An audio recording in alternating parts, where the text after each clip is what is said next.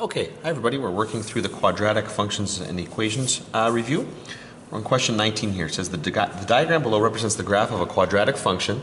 Determine the equation of the function in factored form where a equals 1 and then find the vertex c. Okay, well, so what they're asking us to do here is to uh, find it in, in, in root form first, okay? So factored form really is just root form. Now, we are given two roots here. Now I know it's probably not terribly visible from there, so let's just do this. So notice that the two roots that we're given here are negative 0.5 and positive 2, which means we can write this in, in two different ways here. I can say that x is equal to negative 1 half, okay? Now if that's true, I have to build a factor out of that. Now what I do is I'm going to multiply both sides by 2 to get 2x equals negative 1 then bring the negative 1 over, so 2x plus 1 is equal to 0. So there's one factor.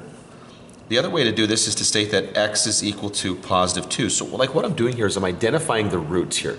So the root is x equals negative 2, or the x-intercept is x equals negative 1 half, x equals 2. And then what I do is I build the factor by simply pulling this over so it's equal to 0. Now if it's a fraction, I got to get rid of the fraction first and then I bring the term over so it's equal to zero. Now for this one right here, it's not a fraction. All I need to do is bring that over so it's equal to zero. And then these two become my two factors. So now let's zoom out a little bit here. We'll come over here.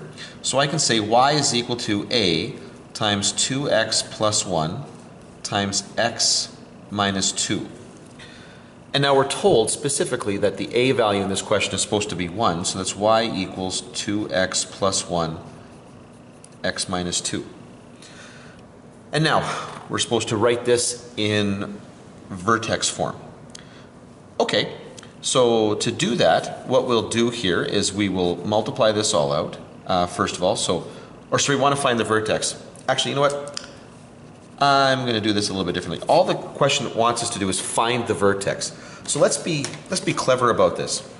I know that my two x-intercepts there are negative 0.5 and 2. So what I'm going to do here is I'm going to find the average between them.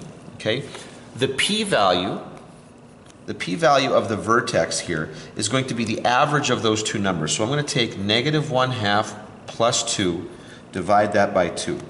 So negative 0.5 plus 2, I'll just going to do this really quickly on my calculator, divide by 2. And what I'm going to get here is 3 quarters. Okay, so right here, what I see here is my axis of symmetry is going to cut this thing, the, the vertex through, but it's going to go through three quarters. It's halfway between negative 0.5 and 2. Now, to find the q value of the vertex, well, I, got I have the equation right here. So what I would do here is evaluate this at 3 quarters. So 2 times 3 quarters plus 1 times 3 quarters minus 2. And just for simplicity's sake here, I will, I will do this on my calculator.